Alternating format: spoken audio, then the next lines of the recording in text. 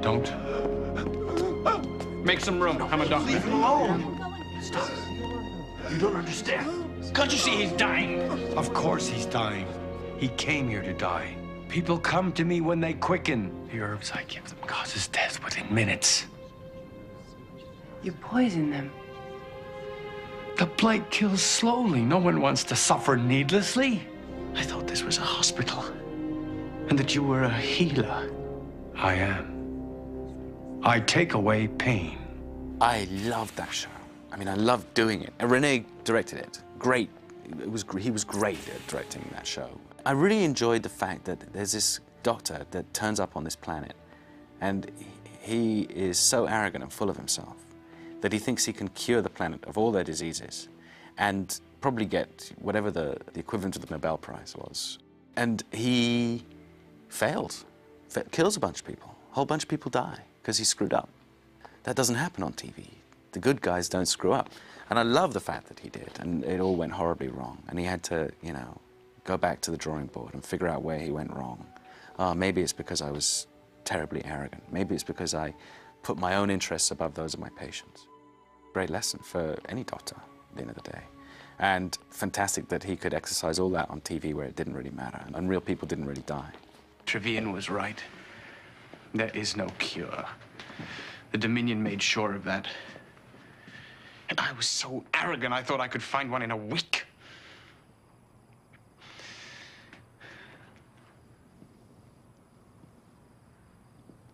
Maybe it was arrogant to think that.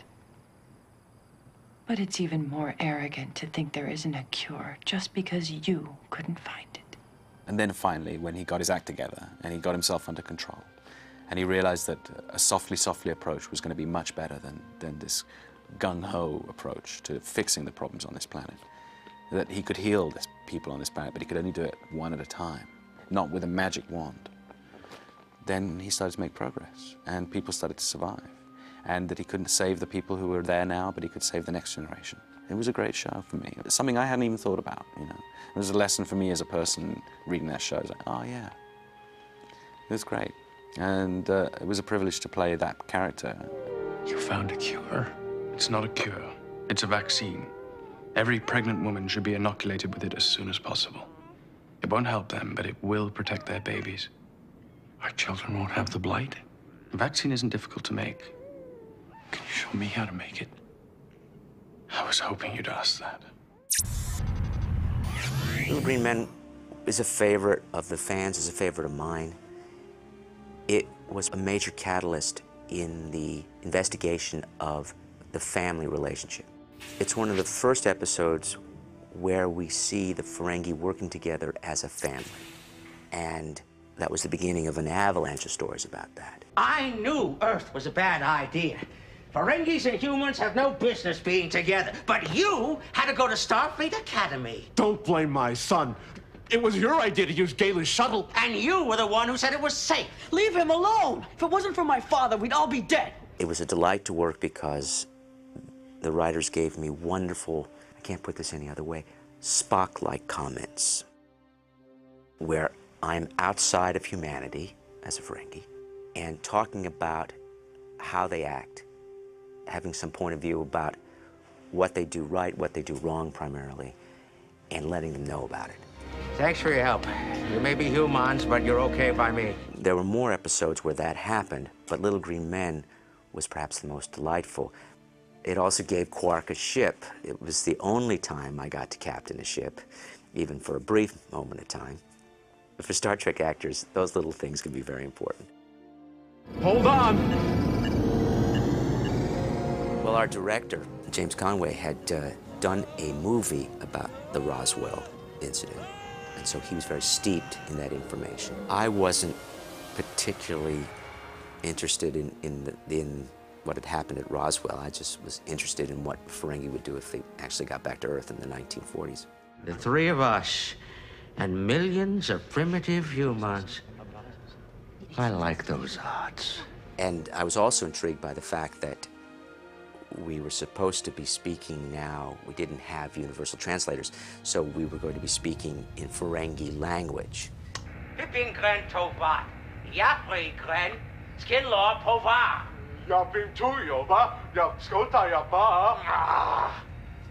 which I was a little dubious about because I didn't want to be like Michael Dorn and have to learn uh, another language altogether. Um, so we did a lot of words that we made up. We have one moment that just came out of the rehearsal and we just started doing monkey see, monkey do. And that's one of the more joyful moments in the episode, I think. What are they doing? Maybe it's some kind of greeting. What are they doing? Maybe their universal translators are broken too. No, they don't have universal translators. So if they don't have universal translators, then why are they banging their heads?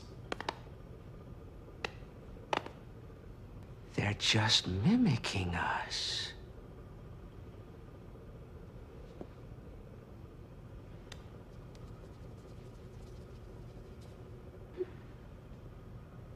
I'd always heard primitive humans lacked intelligence, but I had no idea they were this stupid. Oh, Julian. I never thought I'd see you alive again. Not after you fell out of that dirigible over Iceland. I had a parachute, and there was a submarine there waiting for me. But how did you know about that? Have you been downloading my holosuite program? Oh, Julian, you are not well. Let's lie down. I must say, Major Kira's certainly throwing herself into the role, Doctor. Nerys, please. Oh, that was so much fun. That show was a joy to do. How many times, you know, is it like a necessity to do a bad Russian accent? I was in heaven. It was ideal for me. It was so, and you know, come out of a wall in a round bed. It just doesn't get better than that. Julian. I must have fallen asleep. Very funny. Who else did you invite along with you today? Well, this wasn't my idea. Major. Colonel, actually. Colonel Anastasia Komananov, KGB. It was fun. It was wonderful fun. Allow me to introduce you to our team leader, Dr. Lenara Kahn, and her brother, Dr. Bejal Otner, Major Kira, Commander Worf, and Commander Dax.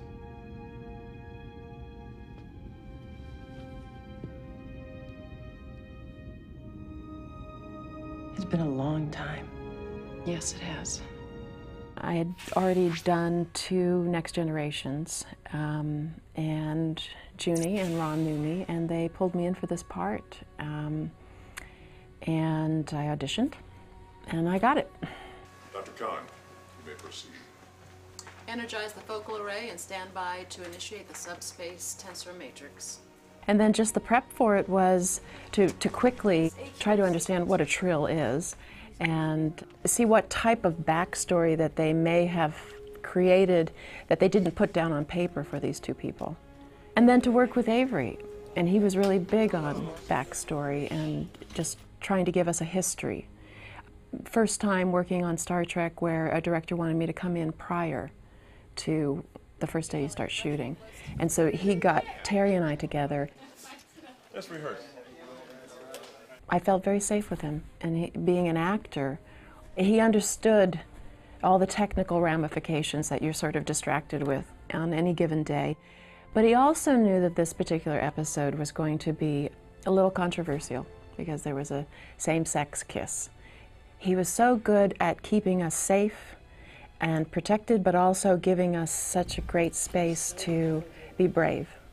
And I know that some TV news magazine wanted to come in and he and shoot the day we were filming the kiss and he kept them away which i thought it was very interesting and he was the one that said it also paralleled the taboo in the story you know that trills were not ever to be rejoined again and what does society do in terms of their judgments when they view you going against their codes their laws their morals and then here was all the sensationalism in our world viewing us doing this episode. And so it's interesting. I've never had quite this much trouble sorting out my feelings from those of a past host. I know what you mean. Probably another good reason why we're not supposed to spend much time together. We'd probably just get lost in the past. She was great. She's just so easy and comforting, very focused with me. She had a great sense of humor and she worked really, really hard. This, this episode was very important to her.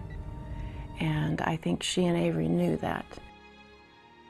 I'm not so sure about her whole history throughout the, the series, but I know that a lot of her heart went into this episode too. And it was nice that, that Avery brought us in to meet each other. And um, I feel like I'm a pretty comfortable person, and she certainly is. And Avery wanted us to have that comfort. Which makes it. She was great to work with. I just loved it. Do you know what the risks are?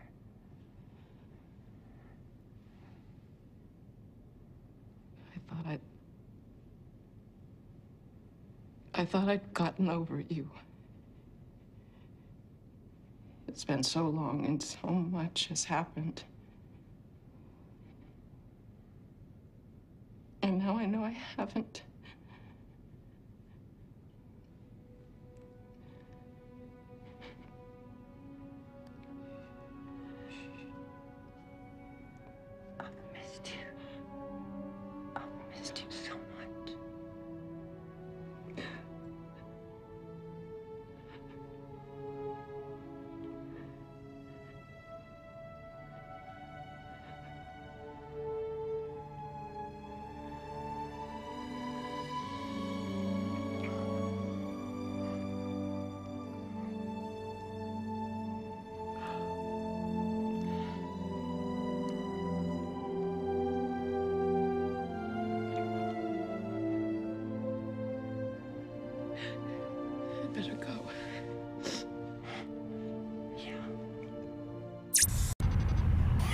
The Visitor is the best piece of material I've ever been able to direct in terms of the script.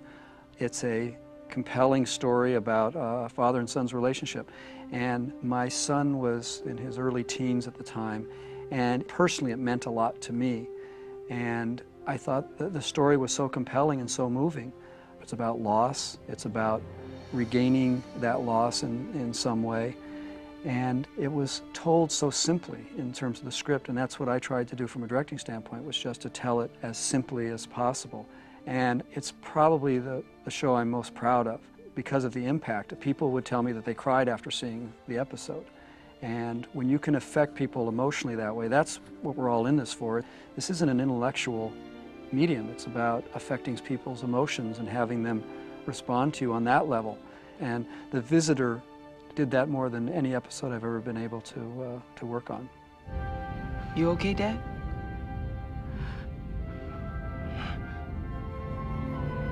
I am now Jake. Also, we had some incredible performances. I thought Tony Todd, you know, he's known for kind of exploitations, sci-fi kind of stuff. He delivered this unbelievably lovely, compelling, and, and, and moving performance that, that breaks your heart. You didn't have to do this. Not for me. For you. And for the boy that I was. He needs you more than you know. Well, Rachel Robinson is the uh, daughter of uh, Andy Robinson, and she interviewed for the part of the writer, and there was no question that she was perfect for the part because she had this empathy and, and sympathy and inquisitiveness. And I thought she and Tony were just wonderful together. It's the only show that I've ever actually rehearsed ahead of time. Fortunately, we had the time. They both came over to my house and we rehearsed for several hours. And it was great to see them develop their relationship. And it was a luxury to be able to rehearse because in episodic television, you don't have that opportunity.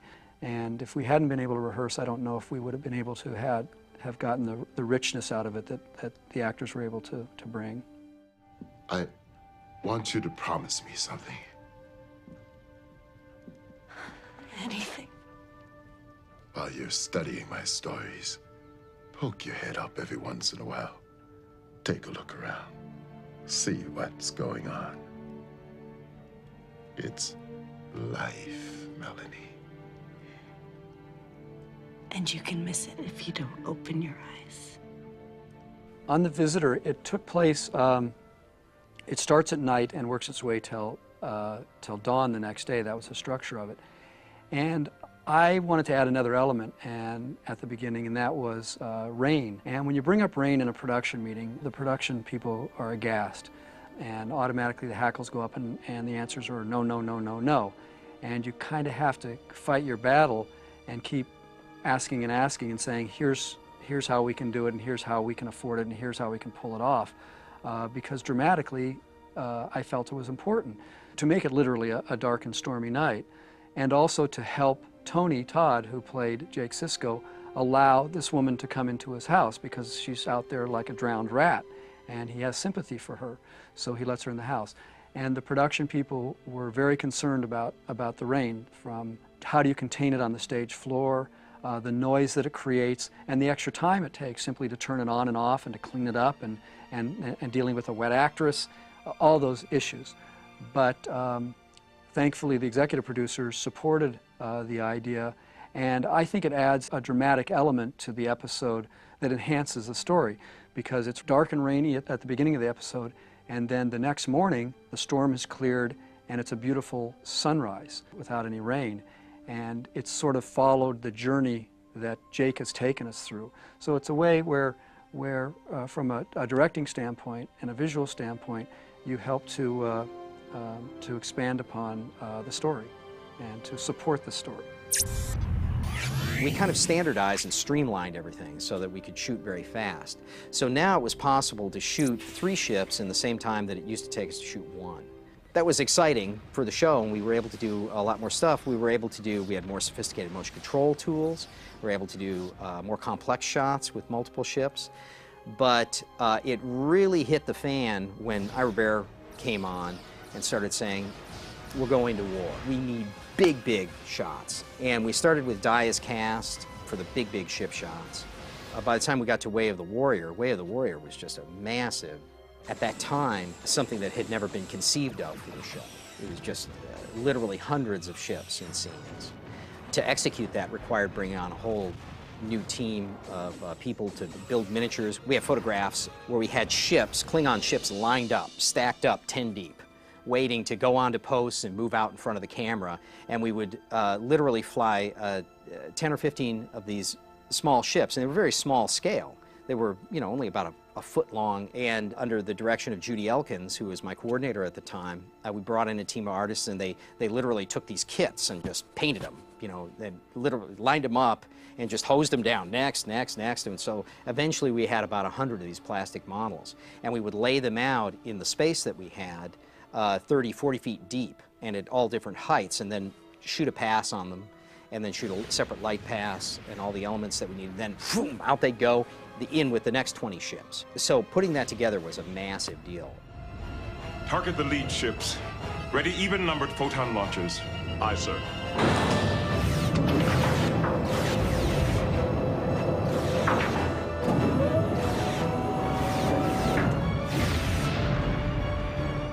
Fire on my mark. Fire! Way of the Warrior was the first episode, I think, where everybody got together, the whole visual effects department, and said, okay, we have to take you know, all these other shows and rearrange them, give them to other supervisors, and, and uh, just pay attention for the literally the first five episodes of that season. I was just working on uh, Way of the Warrior and nothing else. It was a huge undertaking at that time. Nowadays, uh, a shot like that would be done with synthetic ships, with virtual ships that would just be cloned and stuck out just change their flight path a little bit, and you've got, you know, 20, 30 ships out there.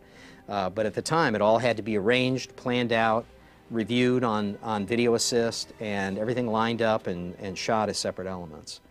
It was a huge undertaking for a television show. Worf, I knew you'd come. He is my brother.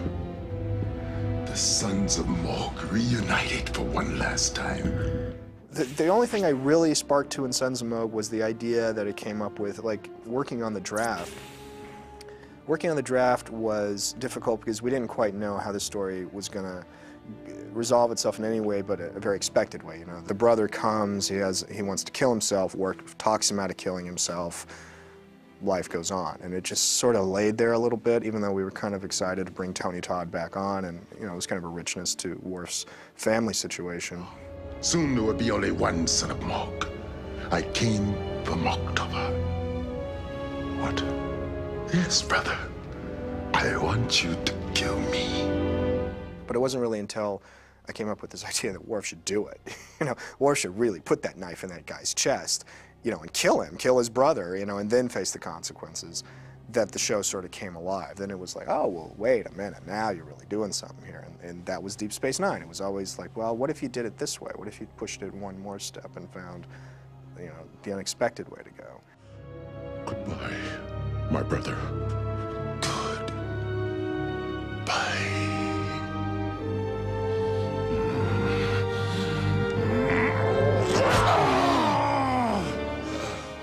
course, there was another visit to Dr. Bashir's House of Horrors. How long will the procedure take? Well, wiping his memory will be relatively simple, say an hour. Where Bashir wipes the guy's memory. you know, we started doing this thing where Bashir was like, it was a joke among the writing staff. That, you know, I mean, it started with Bareil, where we did that show where we killed Bareil, and and you know, he's like, you know, Bashir is putting all these like cybernetic implants in him, and eventually we pull the plug on him, and then the brother gets put in there, and Bashir wipes his memory, and Bashir was just this monster doctor doing all these evil things, which was a lot of fun too. Are you absolutely certain about this, Worf?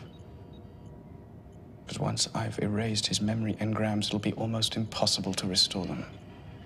He won't remember you or anything about his real life.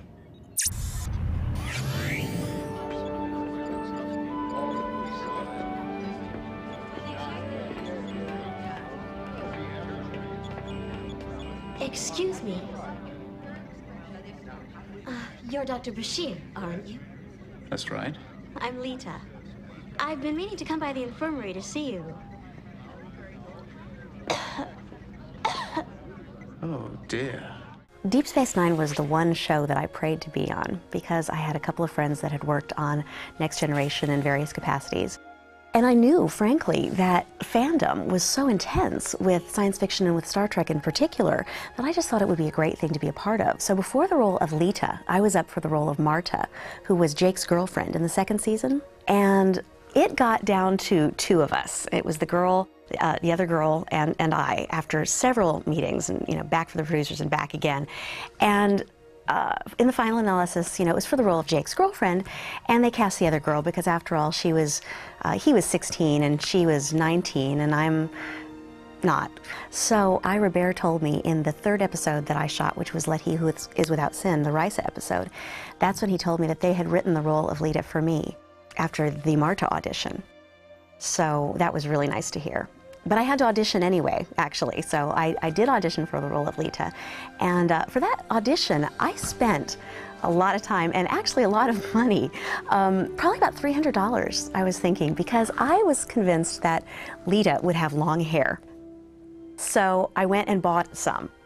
And I went in in this long, dark, beautiful, curly hair, and I bought this dress, and I went to coaching, and I was really, really like prepared, like I want this role. And thankfully, I got it. So I was surprised actually when they went a whole different direction. They were like, "No, we want your short hair, and no Leeta's, you know, this kind of look." And and so uh, it was very interesting. Come in! Come in! Welcome back! Why don't you try your luck at the double wheel? Remember, every Bajoran gets one free spin. You're in a good mood. I just got a raise. So I was um, really excited to be, finally be on the show, and I had met Avery Brooks uh, earlier when I auditioned for the role of Mardah. So I met him in the makeup trailer, or the hair trailer actually. It was really funny because um, I was so nervous and I was so excited to finally be on this show. So I was like, okay, bye, you know, bye hair people, bye everybody. I'll see you later. I'm, I'm going to go to makeup now and I'll come back and I'll get my hair taken out of the rollers and then I'll put my wardrobe on and I'm so excited to be on the show. Bye, see you later, Mr. Brooks. And he turned to me and he said, goodbye, Kathy. And I said, what? What? No, no, my name's Chase, Chase Masterson. I, I play the role of Leeta. You're the star, and I'll see you later, Mr. Brooks. Bye. And he said, okay, see you later, Kathy. And I said, No, no, I'm not Kathy. My name's Chase. I'm not Kathy. I never even played a Kathy. And he took one long, hard Avery Brooks look at me and said, NordicTrack. Well, I had done a NordicTrack infomercial years before. And so my first day, my big day, my only day on the set, Avery Brooks is reminding me of it. How embarrassing. Well, I took one long Chase Masterson look at him and I said, Avery, I got paid for doing it. What's your excuse for watching it? So that was my big first day. I am on a quest. A quest for the most revered icon in Klingon history. Kur. An icon that predates the Klingon Empire. An icon more sacred than the torch of Gabak. Kur. More revered than Sabak's armor. And more coveted than the Emperor's crown. The Sword of Kahless. The Sword of Kahless is just the idea that Kor comes and he says, look, you know, we're going to find the Sword of Kahless. And Worf is like, wow, you know, let's go. And Dax comes along too because she just, she's one of the guys, you know. And so she comes along, we're looking for the Sword of Kahless to ba basically try to unite the Klingon Empire again with this object. It's like finding the Holy Grail or whatever the case. And we come to the realization that absolute power corrupts absolutely, and anybody who has the sword is going to wield absolute power, which is not good. When I held the sword in my hand, I felt the spirit of Kahless himself had guided me to it. Don't you see? He wants me to have it. He wants me to lead his people. So we decide to send it out into the universe. And that was that progression. Then the other episode is the idea that Kor comes back and he wants to fight one final battle. But he is causing trouble, he is being disruptive, and he's he's hearing voices and you know and, and really kind of losing it. And at the end, he does finally fight one final battle. He became a hero. Really good. I mean, just terrific episodes. Really good, terrific. I mean, great Klingon episodes.